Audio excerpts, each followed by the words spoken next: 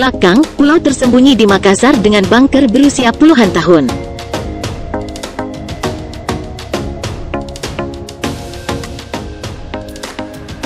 Selebesmagazine.com Sebuah pulau kecil terdapat di tengah kota Makassar, tepatnya di Kecamatan Kalo. Seperti tersembunyi dari pandangan umum.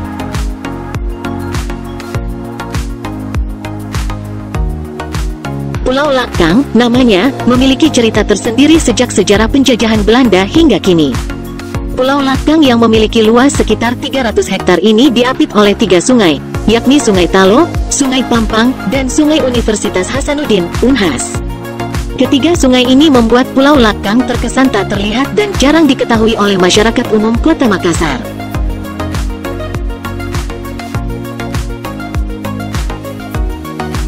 Untuk sampai di Pulau Lakang, pengunjung bisa memilih memulai perjalanan di beberapa dermaga, yaitu dermaga belakang kampus Unhas, dermaga samping tol IR Sutami, dermaga di Kelurahan Pampang dan dermaga di Kelurahan Talo.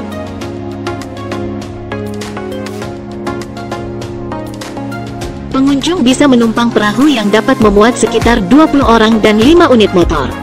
Tarifnya pun terbilang murah dengan harga Rp3.000 per kepala dan tarif angkut motor Rp5.000.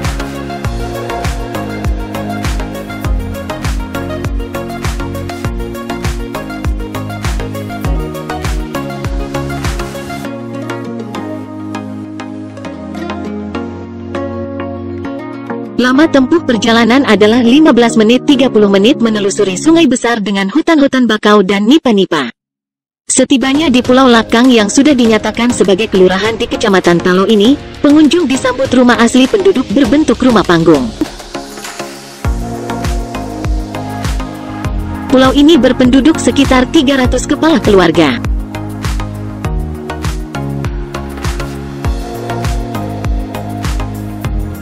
Warga setempat juga sangat ramah dengan para pendatang. Saat ditanyakan lokasi bunker peninggalan Jepang, warga langsung menunjukkan suatu tempat yang terletak di tengah pulau. Suasananya adalah hutan pohon bambu. Bunker peninggalan Jepang itu pun tak terawat. Bagian atasnya terdapat banyak tumpukan sampah. Tak ada pagar mengelilingi lokasi bunker, tak ada pula papan bicara sebagai situs sejarah.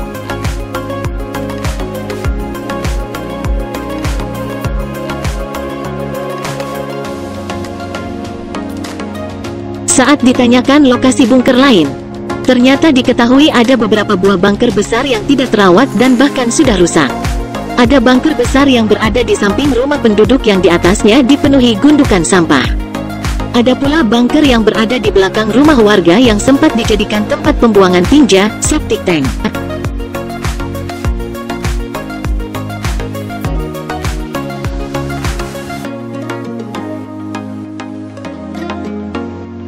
Beberapa bunker yang sempat dikunjungi pun sudah dalam keadaan rusak karena sebagian warga mengaku sengaja ditutup atau ditimbun agar tidak berbahaya bagi anak-anak di Pulau Lakang.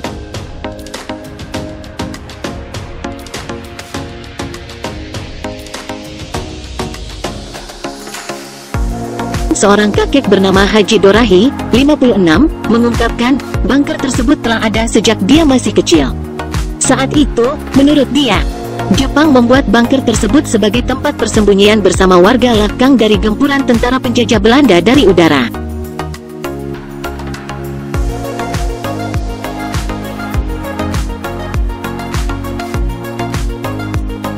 Waktu kecil, biasa saya bersama warga Pulau Lakang dibawa masuk ke dalam bunker itu oleh Jepang untuk bersembunyi.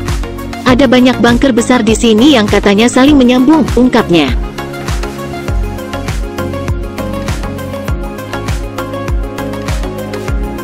Saat ditanya berapa jumlah bunker di Pulau Lakang, Haji Dohari mengaku tidak mengetahui pasti. Namun dia menuturkan, ada sebagian bunker yang sudah ditutup oleh warga karena takut dijadikan tempat bersarang ular besar. Masih ada yang belum ditutup dan ada juga yang sudah ditutup atau ditimbun warga. Karena takut anak-anak mereka masuk ke dalam bunker bermain dan tidak diketahui apa yang ada di dalamnya.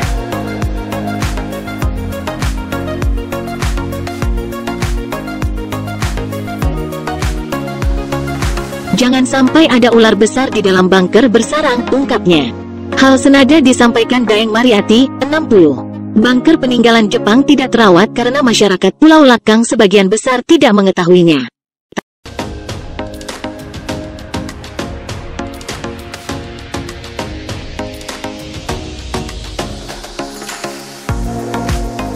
Menurut dia, ada sebagian warga yang menjadikannya sebagai septic tank dan ada pula yang menjadikannya sebagai tempat pembuangan sampah. Mas masyarakat di sini mana tahu itu apa yang dimaksud bunker. Jelas orang sini tahunya itu tempat persembunyian waktu zaman perang dulu. Bank bunker itu dibuat oleh Jepang untuk tempat berlindung bersama warga.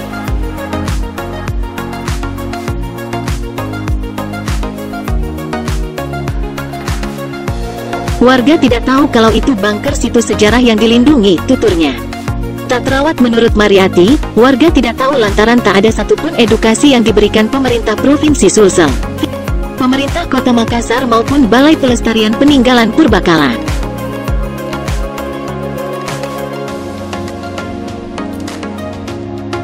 Tak ada pula tanda atau pagar yang dipasang. Tidak ada yang pernah datang pemerintah meninjau itu bunker. Kami tahu itu bunker barang dilindungi setelah ada kunjungan TNI ke Pulau Lakang. Pernah dipasangi pagar bambu, tapi sudah dirusak oleh ternak sapi warga, tuturnya.